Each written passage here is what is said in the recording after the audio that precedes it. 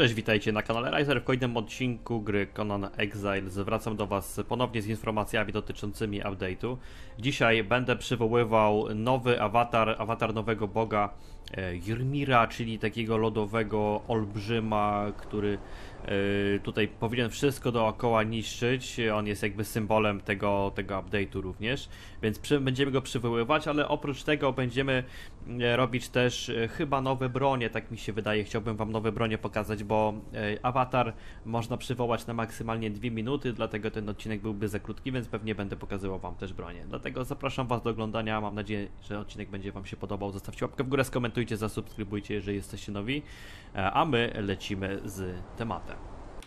Jesteśmy z powrotem w bazie, bo jeszcze chciałbym Wam na początek pokazać całą tą religię Ymira, jak to trzeba zrobić. Czyli po pierwsze, musimy się nauczyć e, tej religii. Jeżeli e, macie już religię swoją, nie zaczynaliście gry od nowa po update'cie, to musicie znaleźć tego NPC'a, którego Wam pokazywałem w ostatnim odcinku, który da Wam tą religię. On był na takiej górze, na tej skale mniej więcej, on jest gdzieś tutaj. E, Ten, co próbowałem tam się z nim z nim gadać, ale on był jakiś zbugowany, bo on tak wisiał w powietrzu i tej religii wtedy od niego nie przyjąłem, więc e, musicie to e, zrobić, żeby z nim zagadać. Później możecie się nauczyć pierwszej świątyni, żeby ją e, wybudować. Tam są kolejne trzy, za chwilę wam pokażę, jak one wyglądają.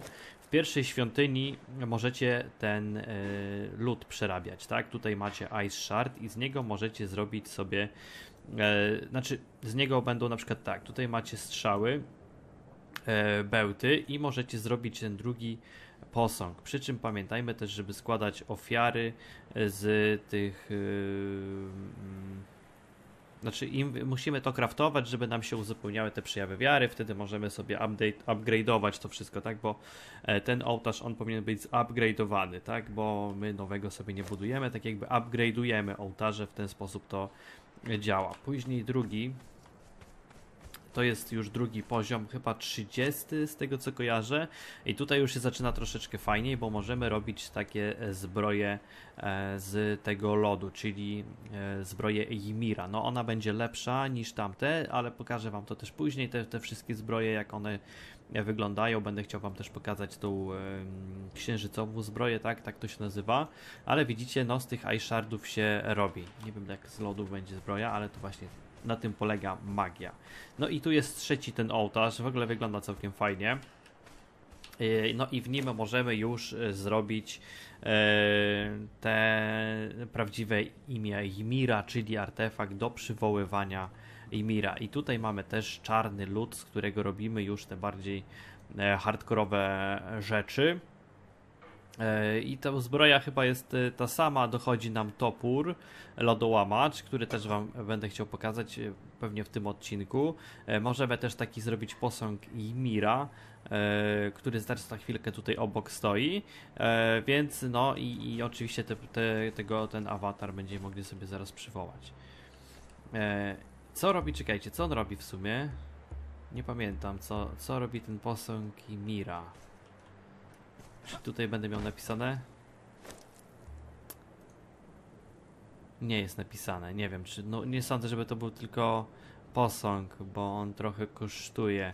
No dobra, mniejsza z tym, może ktoś w komentarzach by nam to sprecyzował. E, teraz pójdziemy przywołać Ymira. E, zrobimy tam jakąś może rozpierduchę. Niestety nie na PvP, e, ale może uda się rozwalić na przykład taką wioskę tych NPC-ów, także lecimy. A jeszcze woda, woda, woda. Raz, dwa, dobra, starczy. Pamiętajmy, że przy przywoływaniu y, nas też mogą zatłuc, tak? Jeżeli my będziemy awatarem, to musimy uważać na to, żeby nas nie zabiły NPC. Y, Tutaj mamy niedaleko taką bardzo dużą osadę i chciałbym właśnie ją zaatakować. Y, Tych, zresztą ona jest całkiem fajna i tam nie wiem, czy, czy byliśmy w odcinku. Na pewno na streamie byliśmy w tej osadzie, ona jest bardzo duża, więc tam może być fajnie. Eee, A później jeszcze zobaczymy sobie te zbroje, ile mają wytrzymałości, jak to wszystko wygląda.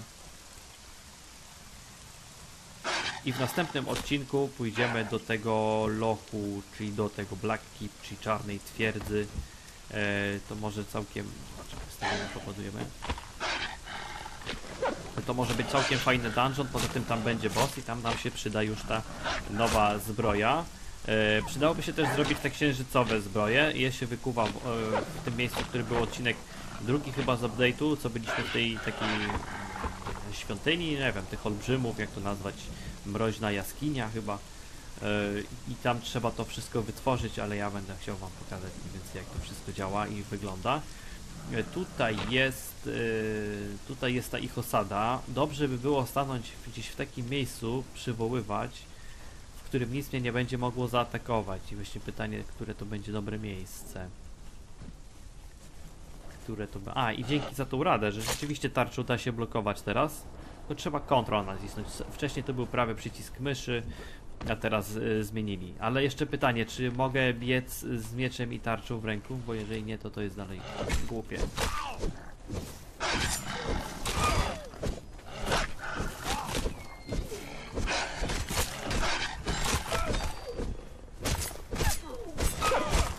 Zabijmy te wilki.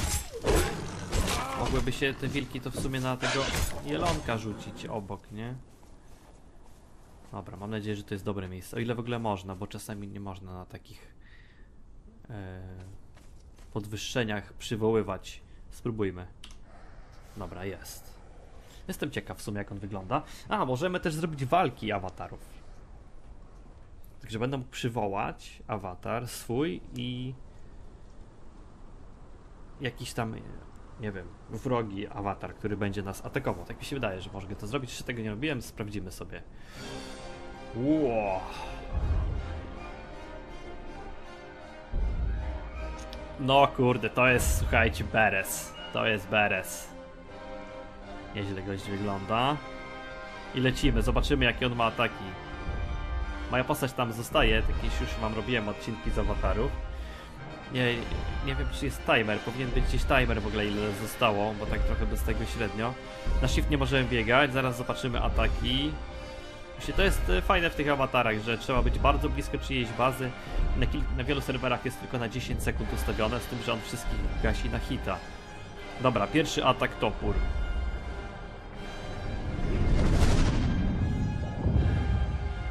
Niestety nie możemy rozwalić tych wszystkich budowli, bo to są jakby e, budowle na mapie, więc to jest trochę lipa. Ale możemy pozabijać te wszystkie jednostki, które tam są. Przejdzie? Przejdzie. Muzyka taka jest sroga. Chodzi też, żebyśmy zobaczyli jak on wygląda. A walkę zrobimy sobie... A walkę zrobimy sobie... Mm, awatarów po prostu, żeby zobaczyć jego siłę. One z taką samą siłę mają e, wszystkie. Prawym przyciskiem myszy on nic nie robi. Spacja? Nic. Control nic. Czyli to jest jego jedyny atak. Trochę lipa. Bo na przykład ten, który to był? Yoga, nie? Taki Cthulhu, to chyba jest najlepszy. Najsilniejszy drzewa przynajmniej łamie ten mój awatar. No i jak on chodzi, to też wszystko niszczy dookoła. No niestety takiej wioski NPC-owej, myślałem, że się pali wszystko. Nie można rozwalić. Tylko te drzewa tutaj dookoła. No i NPC-ów po prostu powybijać, nie?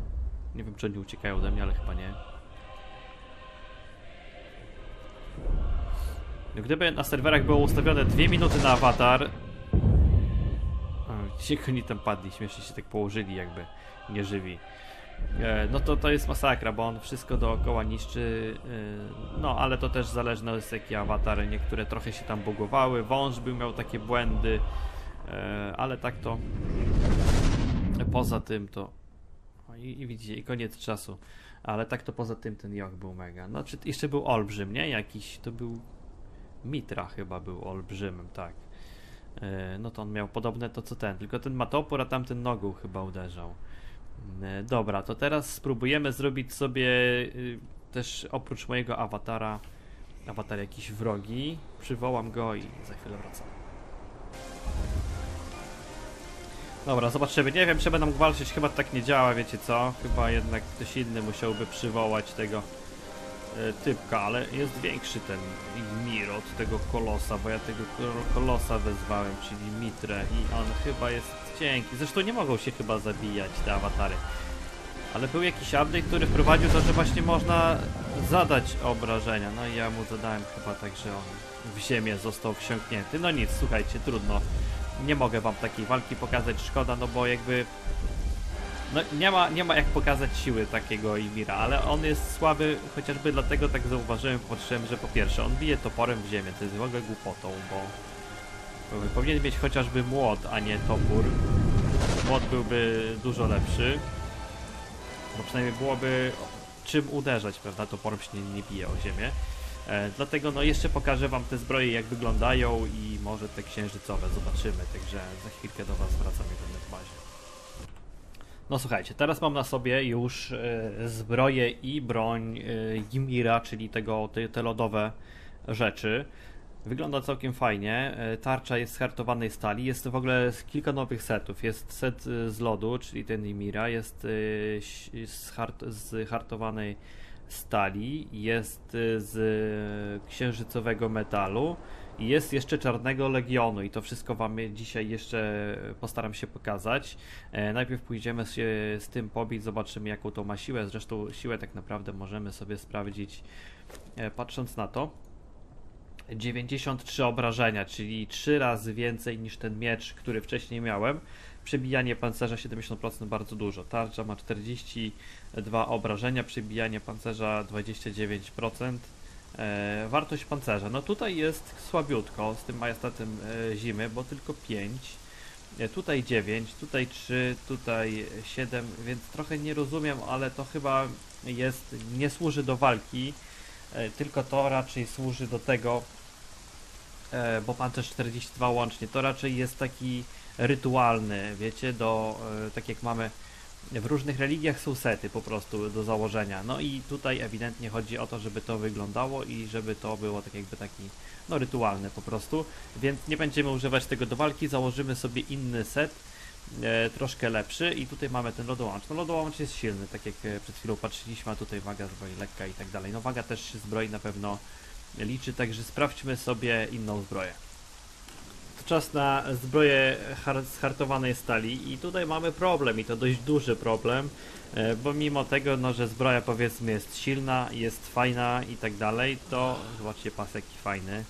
E, To zbroja jest piekielnie ciężka i mimo, że ja mam dużo leveli w udźwig, bo no zaraz zobaczymy, to jestem przeciążony w tej zbroi, mimo że nie mam nic innego w ekwipunku, dlatego nie będę mógł pokazać wam tej zbroi w akcji, bo po prostu jest zbyt ciężka. Jestem przeciążony na 146, a ja mam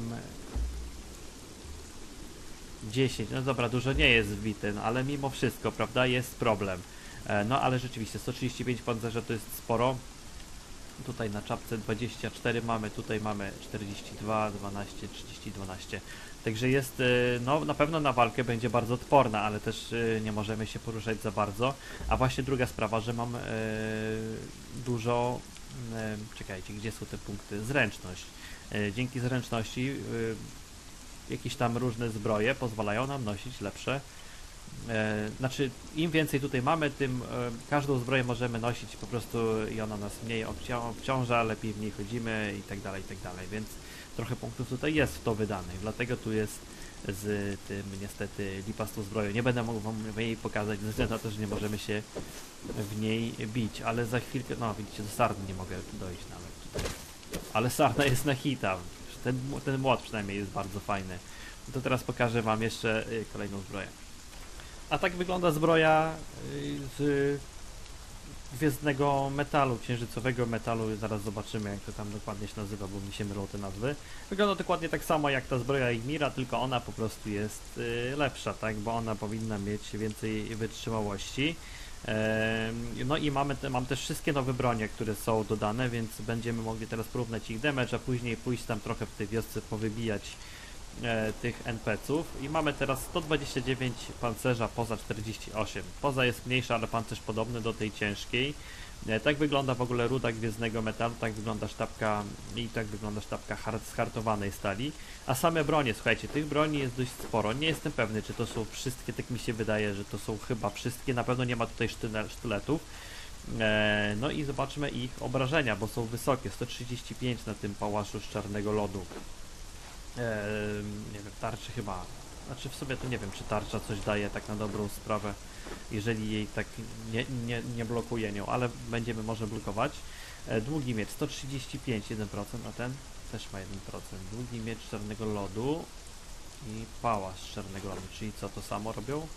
Miecz skartowany 66, bo on jest tam na szybko dostępny, 85 tutaj na 13, e, włócznia 92, 96 i młoty 86, 107. Młot może być fajny, włócznie też możemy sobie użyć, niech to będzie ta włócznia.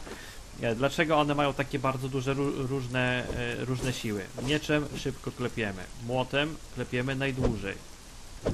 Jeszcze nie wiem, czy on ma atak ten, co miał wcześniej. Ten, co przewraca. No i, i Dzida. A Dzida miała jeszcze taki atak kiedyś taką szarżą. Już widzę, że nie działa. Chyba za mocne to było. E, więc y, no, sprawdzimy sobie, czy ja jestem na bosaka. A, no, butów nie wziąłem. No dobra, trudno. Dlatego ten pancerz byłby większy niż z kartowanej stali w takim razie. E, mam też y, bandaże, kompresy. Mm, One są dostępne chyba na jakimś tam 40 levelu, już nie pamiętam teraz. E, no i one pewnie nam będą trochę lepiej uleczyć niż... Y, Wejdziemy. Aha. No tak.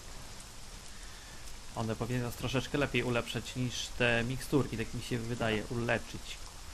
O dobra, to jest dobry moment.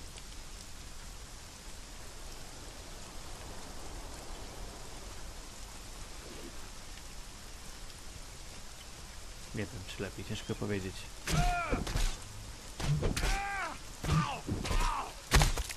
Ło!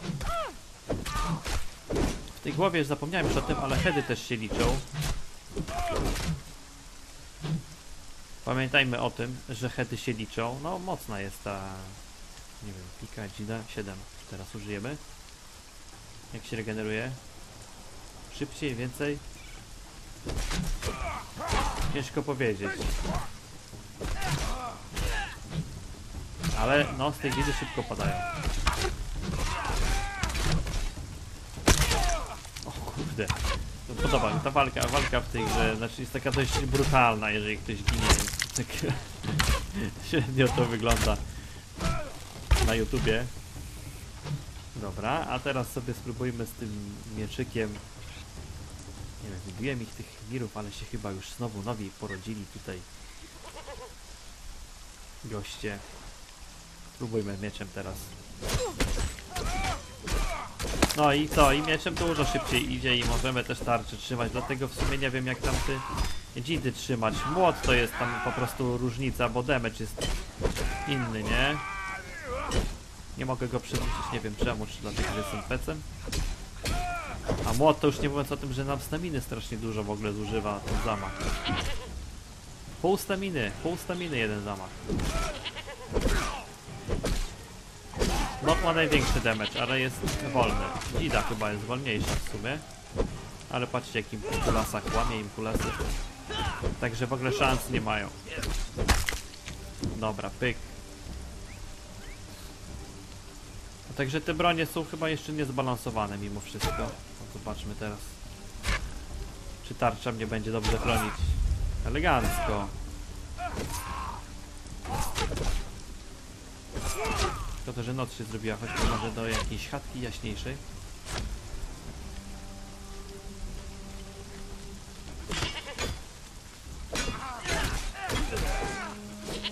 No, miecz jest na pewno najsilniejszy z tych wszystkich. Też ma chyba damage największy w zasadzie, więc trochę to dziwne, że jest i najszybszy, a przebicie pancerza ma słabe z kolei.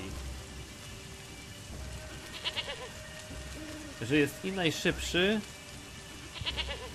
i najwięcej obrażeń mało, to trochę głupie. Młot co prawda może przewrócić, chyba że już też to wycofali. Dzida. No Dzida trzyma na dystans, to też jest jej plus faktycznie. No nie wiem, ciężko mi powiedzieć jak to wypadają te, te, te pozostałe rzeczy. Może w PvP jakimś to, to łatwiej by było określić. E, dlatego słuchajcie, w dzisiejszym odcinku już będziemy kończyć. E, mam nadzieję, że Wam się podobał. Mir, jest fajny, ale chyba słaby. E, zbroje są fajne i mocne, ale bardzo ciężko jest też je zdobyć. Ale osoba, no niestety w tej grze to co nosimy. O, zniszczę, zniszczę. To co nosimy jest y, bardzo istotne w tej grze. Nasze umiejętności walki nie są aż tak potrzebne, bo tutaj no machamy mieczem. Tutaj nie ma jakichś, znaczy można robić uniki, e, można tutaj jakieś odskoki, odbiegnięcia, takie sprawy. E, fikołki do tyłu. Na przykład spróbujmy teraz kogoś, takiego gościa jakiegoś e, dorwać i zrobić przed nim unik. No może nie przed łucznikiem. Tu jest typek z toporkiem. No i patrzcie, on tam uderza w tarczę i on jest tak jakby zestunowany. W tym momencie można go uderzyć na ludzie, nie? Ale na przykład on chce mnie zaatakować i robi odskok, tak? No i można tam troszeczkę. Tylko to dość dużo staminy nam zużywa. Kontra, nie? Albo na- najlepiej to tarcze. Tarcza i kontra. I typa gładzimy. No i nie ma szans. No nie ma szans na nie osoba, która ma słabszy armor od nas, słabszą broję, więc broń.